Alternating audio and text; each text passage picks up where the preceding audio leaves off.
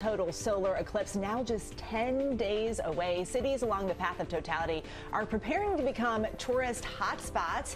And our Gio Benitez is tracking all that eclipse tourism that's booming. I am so excited to be in that path of totality, and so are more than 4 million other people. They're expected to make the eclipse the heart of their spring getaway, some even booking their trips a year in advance. But there are still ways to score a last minute eclipse adventure. Take a look.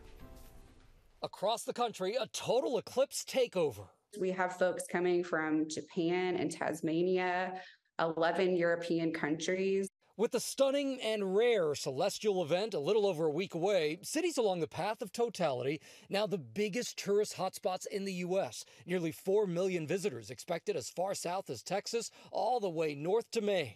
Believe it or not, people have been booking hotels for 11 months now. Airlines have added special flights for the coverage. We've got all the gadgets, hoping to um, be able to record some cool pictures. Wesley Myers and her family hitting the road for a 15 hour drive from Florida to Texas to take part. We wanted to go somewhere that had um, a decent amount of totality. We want to show the kids around Texas. So we thought it was great because they are having over four minutes. And Nazmus Nasir has been planning his trip for seven years. I don't know if there are words to describe the level of excitement I have. You know, having you know preparing for this for years, I knew the dates of the next five or six that are happening. I said, "Yep, I know exactly where we want to go." Priceline saying it has seen more than a 330% jump in flight searches for cities like Indianapolis, Cleveland, San Antonio, Buffalo, and Dallas compared to the same time last year. Those Eclipse weekend flights don't always come cheap. The average round trip ticket to Louisville runs about $1,200. Buffalo, about 1,000, and San Antonio, just under 900. Travel experts say there may still be time to snag a deal, particularly when it comes to hotels you want to go to a secondary city. So don't try to go to Indianapolis, but travel to Bloomington or or outside the major cities because sometimes you'll still see hotel deals there. With all that travel, local economies are expected to reap the rewards. The state of Texas could pocket a record $428 million. And those smaller cities are still going big on Eclipse Mania, like Hillsboro, Texas, which is offering a weekend of events leading up to the main one.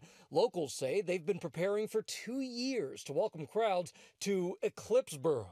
We ordered 25,000 pairs of eclipse glasses. And there was a moment when we started to think maybe that's not enough. And so we ordered another 25,000 pair. There's really no shortage of ways to participate. Six Flags over Texas offering thrill seekers a chance to strap in for a solar coaster. And if you have your sea legs, Holland America offers an experience far away from the distractions offshore.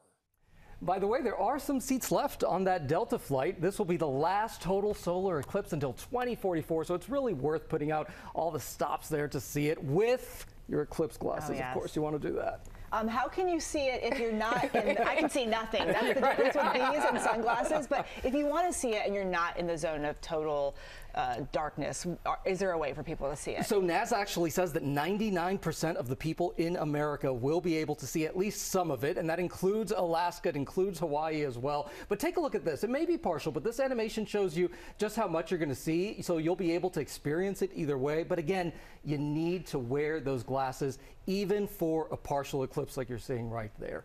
And you know where you can see the total eclipse right here on ABC Monday, April 8th, with coverage starting on GMA. Then you can follow it live on Eclipse Across America beginning at 2 p.m. Eastern on ABC, ABC News Live, National Geographic Channel, and all of Disney's family of networks and social platforms. Exciting. Very exciting. Yes. And you'll be in the path of totality in Indianapolis, mm -hmm. Gio. Can't wait to see that. And these apparently, they double as a headband. So you still have something to use them for after the eclipse.